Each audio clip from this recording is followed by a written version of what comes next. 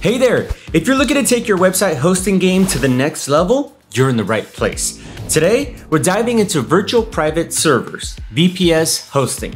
You've probably heard that it's a game changer for businesses or larger websites that have outgrown shared hosting, but you might also think it sounds complicated. Well, I'm here to tell you that's no longer the case. We'll still need to put in some work, but with Hostinger WordPress VPS hosting and its AI integration, your very own server is closer than ever. Let's jump into this Hostinger VPS tutorial. First, we need to pick the best VPS hosting plan. This might seem a little overwhelming, but don't worry. I'll break down what you should focus on. All VPS plans come with essentially the same features. The only difference is the hardware resources your server will get. Think about the type of website you're running. Is it a small blog, an e-commerce site with hundreds of products, or maybe a portfolio with lots of high-res, large images? The larger your website and the more traffic you expect, the more resources you'll need. For most beginners, a mid-tier VPS plan is a great starting point. It gives you enough power to handle growth without breaking the bank. The best part about Hostinger VPS is that you can easily scale up anytime you need to. So, Starting with the cheapest option and adapting as your site grows is a perfectly viable strategy.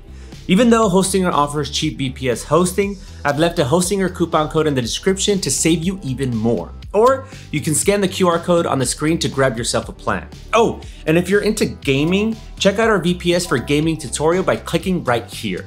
Once you've chosen a plan and signed up, it's time to log into your VPS. For this, you'll need something called SSH Access. If you're using Windows, you can download a free tool like PuTTY. For Mac and Linux users, you're in luck. Your terminal is already SSH ready, so you won't need to install anything extra. Now, we need the terminal to update your server with DNF update, DNF upgrade, and then... Nah, I'm joking. Don't panic, we won't be coding anything. With Hostinger, the setup is actually really simple. In your Hostinger dashboard near VPS, click Setup and you'll be guided through the VPS guide with quick onboarding. Hostinger will automatically choose a server for you based on the information you provided. However, this choice might not always be the best. For example, if you're in the USA but your main market is in Europe, you can select from 11 data centers around the world. What I love is that you get to see the latency from your current position, which helps you make an informed decision. I'm all about that data. Data is fun. Also, something I personally love about Hostinger is that most of their data centers are powered by 100% renewable energy, a nice little bonus for the environment.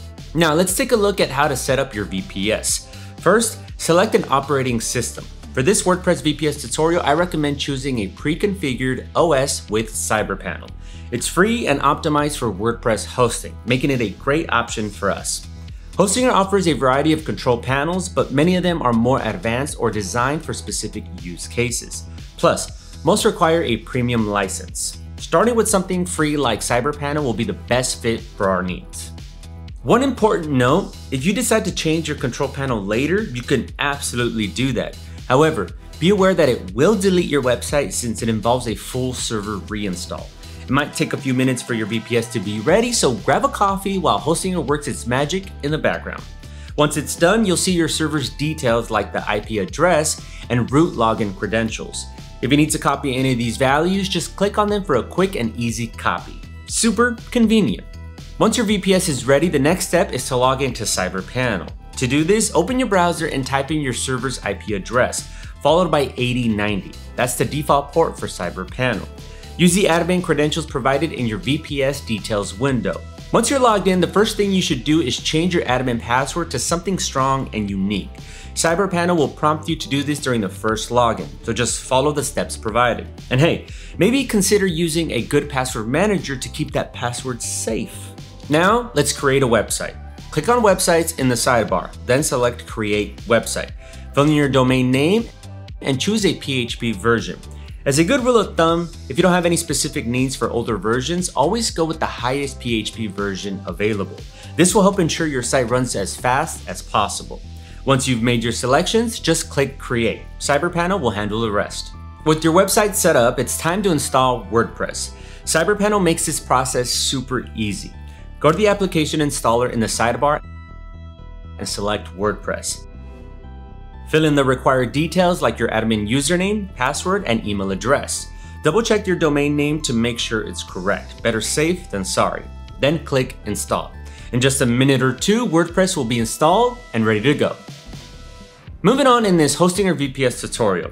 Once WordPress is installed, you can log in by visiting yourdomain.com forward slash WP admin or WP login.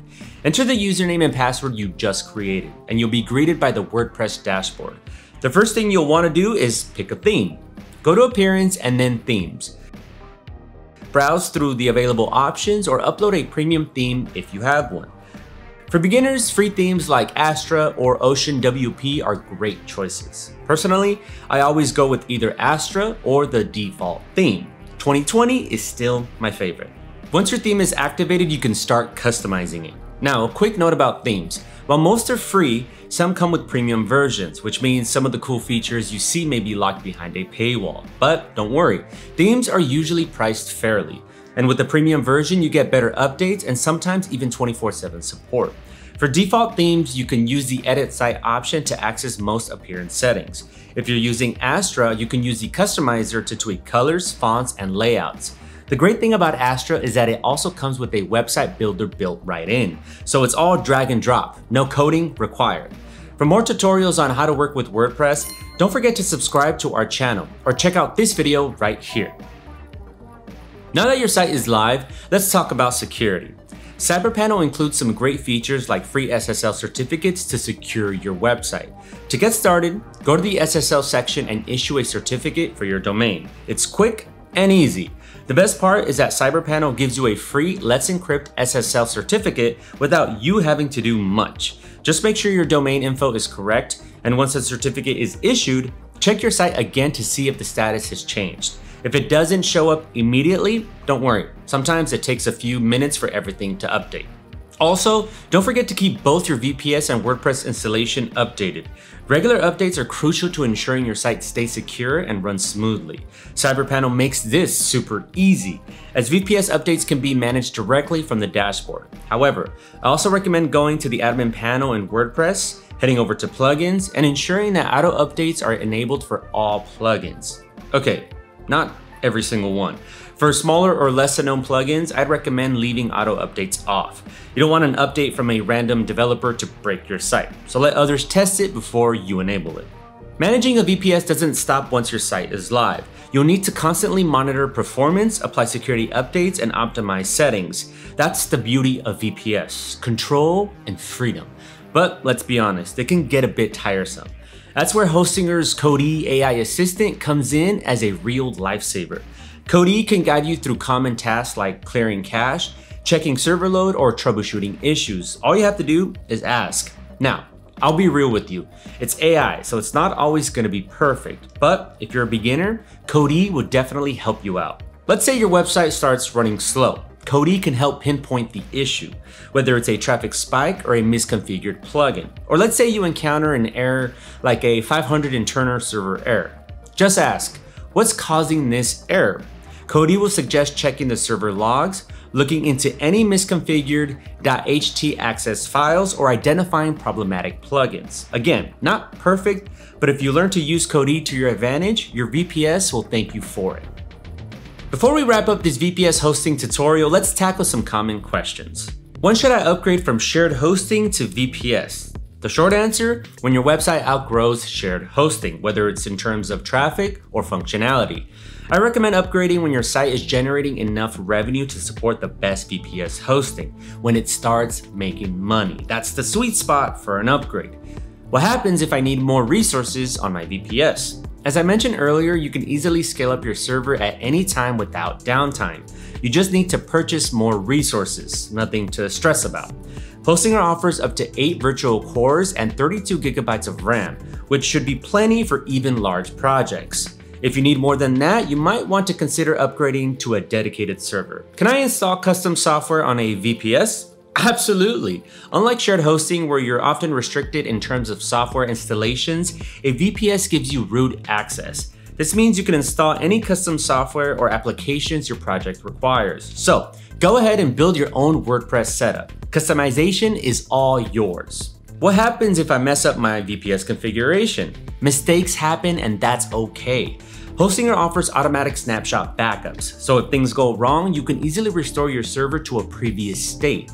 And if things get really out of hand, you can always reinstall the operating system. The great part, no one will find you or stop you from experimenting with your private server. It's all in your hands. Can I run multiple websites on a VPS hosting? Absolutely. A VPS can easily host multiple websites as long as it has the necessary resources. You can configure multiple domains and websites using free control panels like Webmin or CyberPanel. A good rule of thumb is to allocate at least 2 gigabytes of RAM and storage space per website, but this depends on the type of projects you're working on. How do I monitor the performance of my VPS? Hostinger provides a user-friendly control panel that lets you monitor server performance, including CPU usage, memory, and disk space. If you need more advanced insights, you can use tools like Nagios or Zabbix, but keep in mind these will require some learning and setup. What's the difference between VPS and cloud hosting? This is a hot topic. Both VPS and cloud hosting offer scalability and flexibility, but the key difference lies in how resources are allocated. VPS provides a dedicated virtual environment with fixed resources, giving you more control over how things run. Cloud hosting, on the other hand, distributes resources across multiple servers, offering better reliability and scalability for dynamic workloads. Think of cloud hosting as a more advanced distributed version of shared hosting. It maximizes performance and minimizes issues. VPS, though, is more about control. It's like having your own mini dedicated server, just on a smaller scale. And there you have it, a complete-ish VPS tutorial to getting started with Hostinger. From setting up your server to hosting your website, it's not as intimidating as it seems. The key is taking it one step at a time and having a platform like Hostinger that caters to both beginners and advanced users alike. With the right tools, you'll be up and running in no time.